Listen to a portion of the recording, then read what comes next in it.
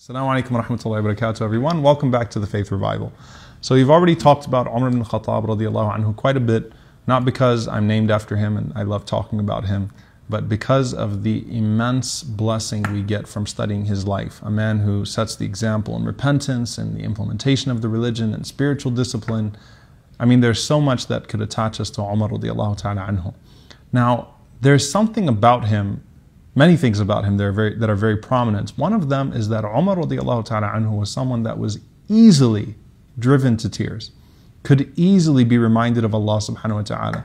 Whether it was a child or it was just some random woman in the street or one of his companions or one of his family members, if someone said to Umar, ittaqillah, be mindful of Allah, fear God, he would immediately uh, be reminded of Allah subhanahu wa ta'ala. So he was always ready uh, to be reminded of Allah. Now, Imam al-Dhahabi has a very interesting reflection on that.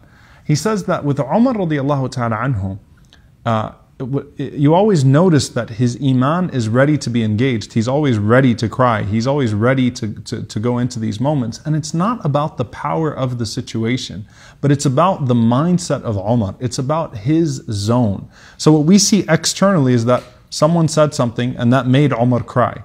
But it's not that someone said something and it made Omar cry. It's that Omar internally was already in a process that no one else was seeing. So when that incident happened or that word was spoken, it immediately drove him to those tears.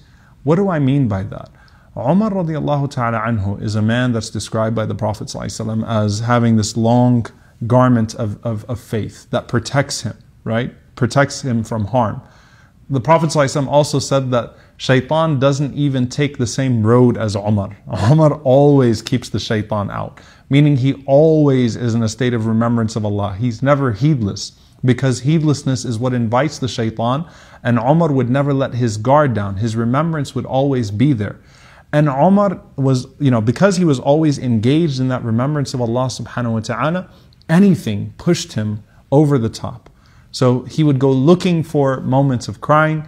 When he saw the Prophet ﷺ and Abu Bakr radiallahu anhu crying after a revelation of the Quran after the Battle of Badr, he said, Tell me what it is that's making you cry so that I can cry too. And even if even if it doesn't make me cry, I'll join you guys in crying, basically to get the blessing of your crying, right? But I want to cry. I want to be connected to this. What lesson does this have for us? What's the practicality here in our lives? Omar was always in the zone and preparing himself. He was preparing himself for that Iman boost. Meaning what? If Omar heard many of the khutbahs today that we would deem as mediocre, and we would say it was the worst khutbah that we've heard, not because of something that the imam, imam said that was wrong, but you know, it was a mediocre khutbah, it was a boring khutbah. Umar anhu would probably be crying in the front of the masjid, just at khutbah al-hajah, just at the beginning, ittaqullah haqqa tuqatihi, fear Allah as He deserves to be feared. And all of us would be looking at Umar and wondering, why is he crying? What, what happened here? Did he just see a text message or something like that? You know, who texted Umar and made him cry? We wouldn't be able to comprehend it. Because it's not about what the Imam said. It's about the state of the heart of Umar when the Imam said it. Practically speaking, what this means is putting yourself in the zone before the moment that engages your Iman is crucial, is essential. Meaning what? When I'm on my way to Jum'ah, I am going to Jum'ah for the purpose of being reminded.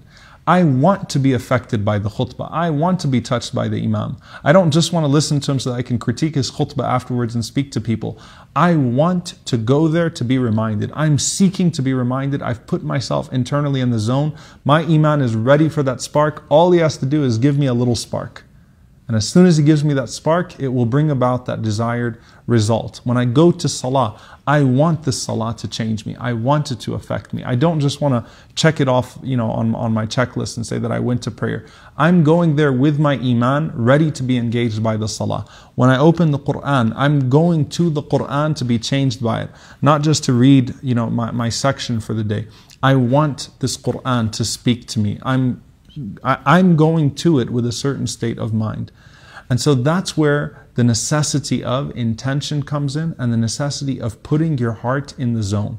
The Prophet's khutbahs were very simple. They were not long and elaborate, but the companions were moved by them. It wasn't just because of the one who was speaking, it was because of the hearts that were receiving. So prepare yourself for moments. Go to the khutbah with the intention of being reminded.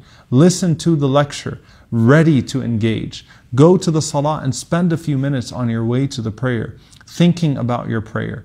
It's often about what you do before the act that will determine the quality of that act itself and what impact it's going to have on your iman.